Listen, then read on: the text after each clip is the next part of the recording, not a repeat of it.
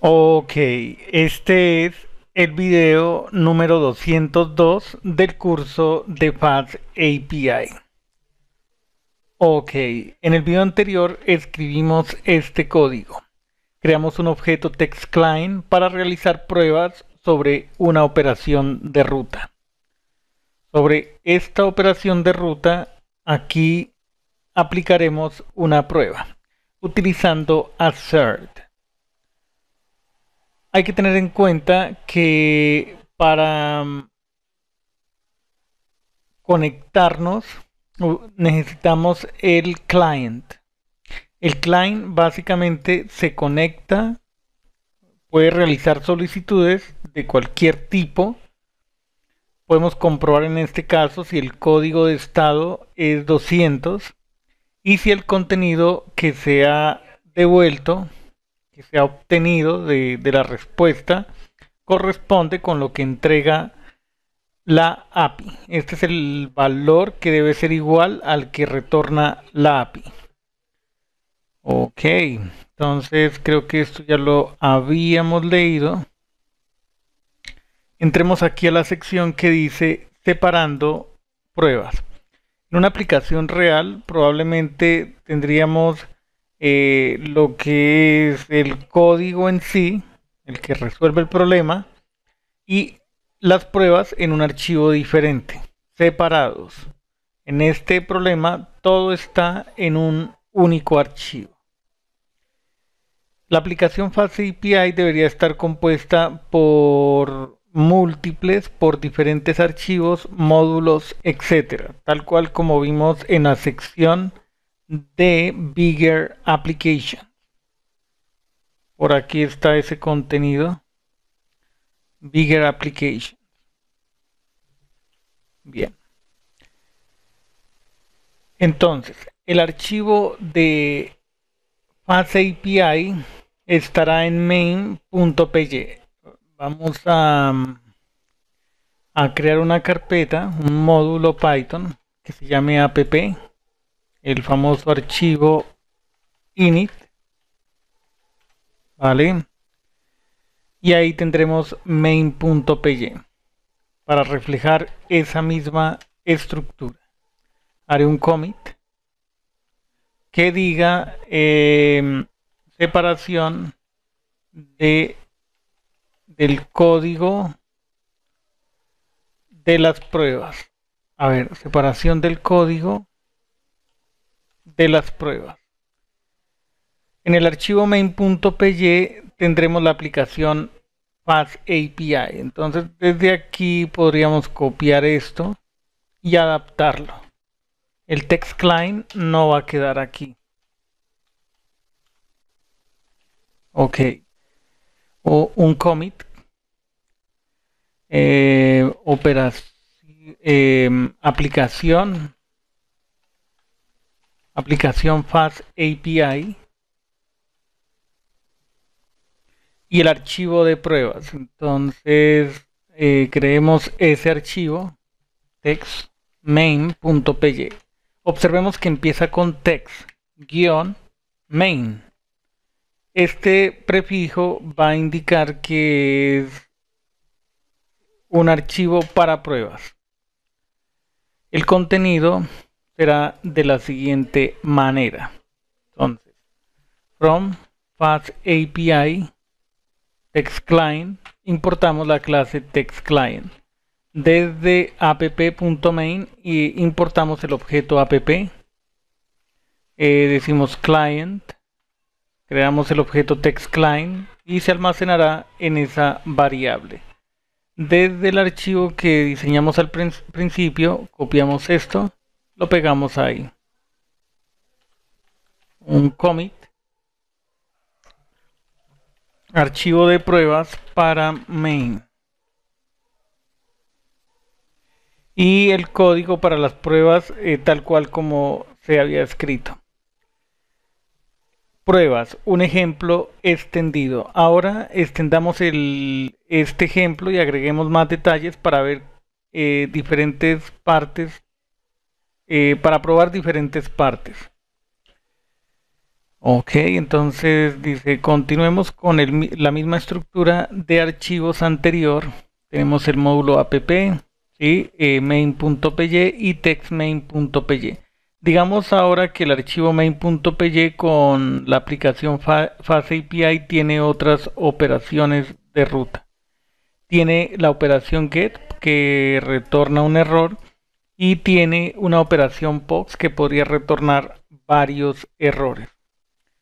Ambas operaciones requieren un encabezado ex token. Debe pasar diferentes pruebas. Ok, este ya es un ejemplo más... Eh, este, este, es el archivo main. A ver. Eh, ok, ok, ok. Creemos otra aplicación. Digamos, ¿cómo podría ser aquí? Application. o main, a ver, no le da un archivo. Digamos application. Es un módulo init.py.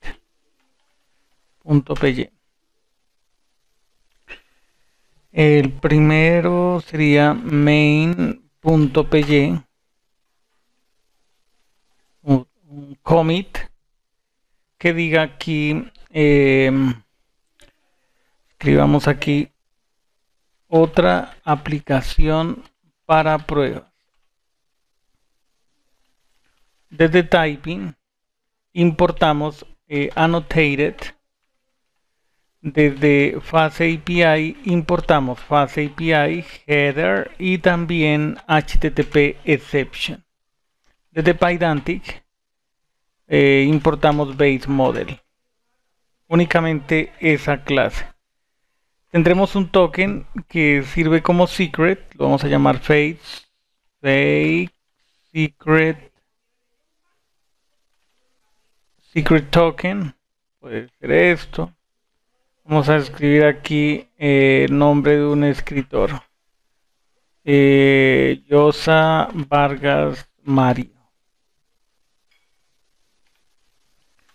Y tendremos una base de datos esta información si la copio. Esto es básicamente rutinario, es un diccionario con dos llaves, esa llave tiene otro diccionario, bla, bla, bla. Nada eh, sobre lo que tengamos que prestar mucha atención. Es una base de datos tipo fantasma, dummy. Ya está el objeto fase API, creemos el modelo item. Antes de hacer eso, escribamos aquí eh, elementos iniciales para iniciales para la API. Tan falta agregar al área de preparación. Class Class Item Base Model tiene ID de tipo str, tiene title, title también de str y el description eh, aquí sería str o puede ser non y el valor por defecto non. La primera operación de ruta. El response model será un objeto de item. Antes de avanzar, si me gustaría aquí eh,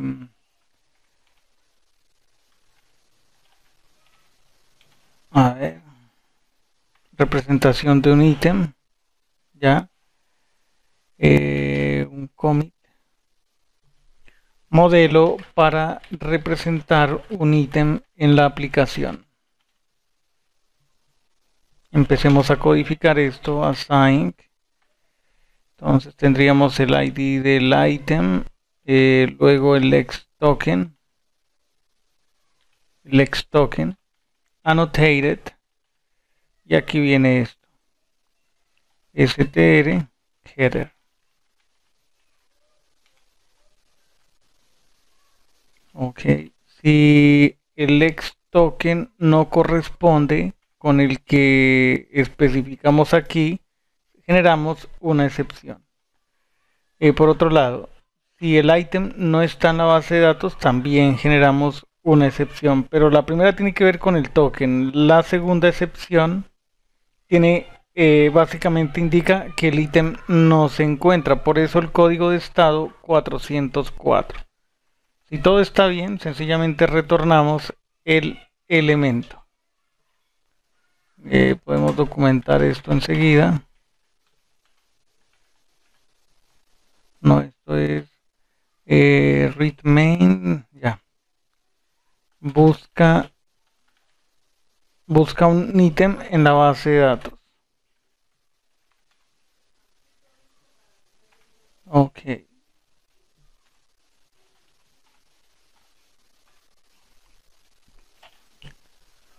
Vale, vale.